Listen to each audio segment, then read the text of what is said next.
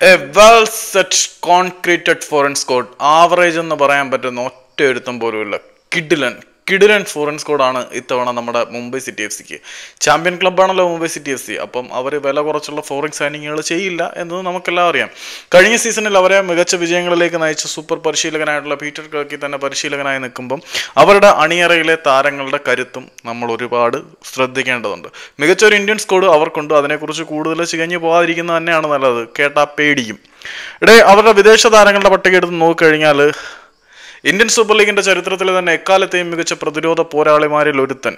Spanish കാളക്കൂറ്റന്റെ വന്യമായ കരുത്തെന്താണെന്ന് പ്രതിരോധത്തിൽ കോട്ട കെട്ടി കാണിച്ച് എതിർ മുന്നേറ്റങ്ങളെ നിഷ്പ്രയാസം മുനയൊടിച്ച് ചവിട്ടി അരച്ചു വിട്ട ടിരി എന്ന സൂപ്പർ ഡിഫൻഡർ അവരുടെ പ്രതിരോധത്തിൽ ഒന്നാം നിര പോരാളിയായി അവിടെ നിൽക്കുന്നുണ്ട്. അദ്ദേഹത്തിന് കൂട്ടായി താഹിർ കൗമു എന്ന പോരാളിയുണ്ട്. അദ്ദേഹവും കഴിഞ്ഞ സീസണിൽ ഇന്ത്യൻ സൂപ്പർ ലീഗിൽ തന്റെ പ്രതിരോധത്തിന്റെ മികവ് എങ്ങനെയുണ്ടെന്ന് മറ്റുള്ളവരെ കാണിച്ച് അമ്പരപ്പെടുത്തിയിട്ടുള്ള ആൾ തന്നെയാണ്. താഹിർ ക്രോമോ വളരെ മികച്ച പ്രതിരോധ നിര താരം തന്നെയാണ് അദ്ദേഹത്തിന്. ഇപ്പം ഇന്റർനാഷണൽ ഡ്യൂട്ടി ഉണ്ടായിരുന്നു. സോ നാഷണൽ ലെവൽ പ്ലെയർ ആണ്. ഈ രണ്ട് താരങ്ങളും പ്രതിരോധത്തിൽ ഒരുമിച്ച് അണിനിരക്കാനുള്ള സാധ്യത വളരെ കുറവാണ്. ഈ ക്രൗമോനെ അധികം കളിപ്പിക്കാൻ സാധ്യതയില്ല. ടിരിക്ക് പരിക്ക് പറ്റിയാൽ മാത്രം സ്കൂളിൽ എടുക്കാൻ പോകുന്ന താരമാണ് താഹിർ ക്രോമോ എന്നാണ് എനിക്ക് തോന്നുന്നത്. പക്ഷേ അദ്ദേഹത്തിന്റെ മികവിനോ എബിലിറ്റിക്കോ യാതൊരുവിധ കോട്ടവും സംഭവിച്ചിട്ടില്ല.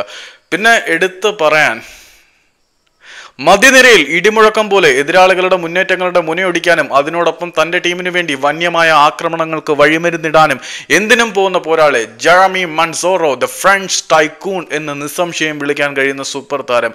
കഴിഞ്ഞ സീസണിൽ ഇളകിയാടി ഓടിക്കൊണ്ടിരുന്ന ജംഷഡ്പൂരിന്റെ ഉരുക്ക് കോട്ടയ്ക്ക് ദിഗന്ധങ്ങളുടെ കരുത്തും പ്രബന്ധങ്ങളുടെ മികവും നൽകിയവന്റെ പേരാണ് ജെറമി മൺസോറോ അവന്റെ കാലുകളിൽ നിന്നും പിറക്കുന്ന ഷോട്ടുകൾക്കും സെറ്റ് പീസുകൾക്കും വന്യമായ ഒരു കരുത്തുണ്ടായിരുന്നു. അക്ഷരാർത്ഥത്തിൽ അഡ്രിയാൻ ലോണയ്ക്ക് ശേഷം നിശ്ചലമായ പന്തുകൊണ്ട് ഇന്ദ്രജാലം കാണിക്കുന്ന മറ്റൊരു മാന്ത്രികൻ ഇന്ത്യൻ സൂപ്പർ ലീഗിൽ അവതരിച്ചു പോയി എന്ന് ഞാൻ വിശ്വസിച്ചത് അഡ്രിയാൻ ലൂണയ്ക്ക് ശേഷം ഈ മനുഷ്യനെ കണ്ടപ്പോഴാണ്. അഡ്രിയാൻ ലൂണയുടെ കാവ്യാത്മകമായ സൗന്ദര്യത്തിനപ്പുറത്തേക്ക് ജെറമി മൻസൂറയിലേക്ക് എത്തുമ്പോൾ കാവ്യാത്മകമായ സൗന്ദര്യത്തിനപ്പുറം അവിടെ വന്യതയുടെ സൗന്ദര്യത്തിന്റെ കരുത്തിനെയാണ് നമ്മൾ ദർശിച്ചത്. ലൂണ സൗന്ദര്യത്തിന്റെ പ്രതീകമാണെങ്കിൽ ജറമി മൻസീറോ വന്യതയുടെ കരുത്തിന്റെ പ്രതീകം തന്നെയാണ്. ഇടേ അഡ്രിയാൻ ലൂണയ്ക്ക് ശേഷം ഇത്രയും ആക്യുറേറ്റ് ആയിട്ട് അഡ്രിയാൻ ലൂണയ്ക്ക് പോലും ഇപ്പോൾ അതിന് പറ്റുമെന്ന് എനിക്ക് തോന്നുന്നില്ല. അഡ്രിയാൻ ലൂണയുടെ ആദ്യ സീസണിൽ അദ്ദേഹം കാണിച്ച ഇന്ദ്രജാലങ്ങളുടെ വന്യത ഒന്നുകൂടി രൂക്ഷമാക്കി കഴിഞ്ഞ സീസണിൽ അമ്പേ പരാജയമായി പോയ ജംഷഡ്പൂരിന് വേണ്ടി ഒറ്റയാൾ പോരാട്ടം നടത്തിയ ജെറമി മൻസൂറ കാഴ്ചവെച്ചിട്ടുണ്ടായിരുന്നു. കഴിഞ്ഞ സീസണിൽ ജംഷഡ്പൂർ എന്തെങ്കിലുമൊക്കെ നേടിയിട്ടുണ്ടെങ്കിൽ ആ നേട്ടത്തിന് പിന്നിലെല്ലാം ഈ മനുഷ്യൻ തന്നെയാണ്.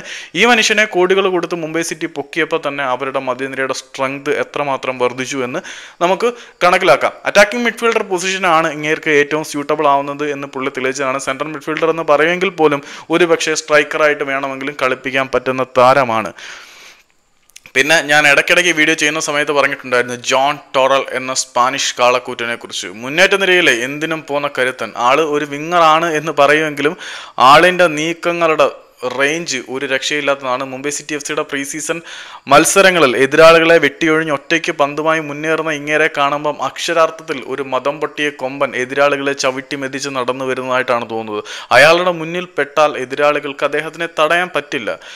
മീൻസ് അൺലീഷ്ഡ് പവറുമായിട്ടാണ് ജോൺ ടോറൽ പന്തുമായിട്ട് മുന്നിലേക്ക് വരുന്നത്. സോ ജോൺ ടോറലിന്റെ മുന്നേറ്റങ്ങളെ തടഞ്ഞു നിർത്താൻ എതിരാളികൾ ഭയപ്പെടും. മുംബൈ സിറ്റി എഫ് സിയുടെ മുന്നേറ്റ നിരയിലെ ഏറ്റവും കരുത്തനായ പോരാളി ഇയാളായിരിക്കും.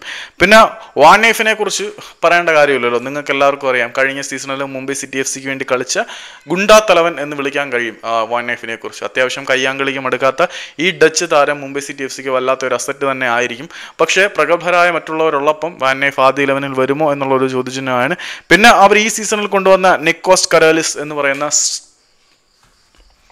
ഗ്രീഷ് സ്ട്രൈക്കർ. അതായത് ഗ്രീസിൽ നിന്ന് കുറേ ആളുകൾ ഇങ്ങോട്ട് കെട്ടിയെടുക്കുന്നുണ്ട്. അതിനകത്ത് ഏറ്റവും പ്രധാനപ്പെട്ട ഒരുത്തൻ ഇവനാണ്. ഐ തിങ്ക് ദിമിത്രിയോസ് ഡയമൻഡക്കോസിനെക്കാട്ടിലും മികച്ച ട്രാക്ക് റെക്കോർഡ് ഉണ്ട് നിക്കോസ് കരോലിസിന് എന്ന് വിശ്വസിക്കുന്നു.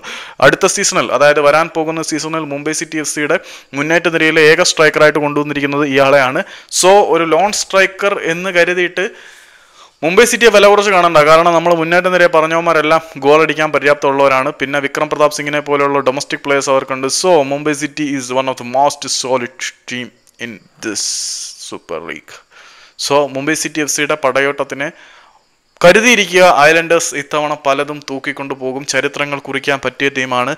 വിദേശ താരങ്ങളുടെ പേര് കേട്ടാൽ തന്നെ നമ്മൾ ഞെട്ടുന്നുണ്ട്. അപ്പോൾ ഡൊമസ്റ്റിക് പ്ലേയേഴ്സിന്റെ പേരും കൂടെ വന്നു കഴിഞ്ഞാൽ അമ്പോ എന്ന് കരുതി മൂക്കത്ത് വിരൽ വെച്ച് പോകും. Mumbai City F C is too powerful ഞാൻ ബ്ലാസ്റ്റേഴ്സ് മികച്ച സൈനിങ് നടത്തുന്നുണ്ട് എന്ന് സമ്മതിക്കുമ്പോൾ പോലും എന്തുകൊണ്ട് വില കുറച്ച് കാണുന്നു എന്ന് ചോദിച്ചു കഴിഞ്ഞാൽ ബ്ലാസ്റ്റേഴ്സ് മികച്ച സൈനിങ്ങുകൾ നടത്തുന്നുണ്ട്.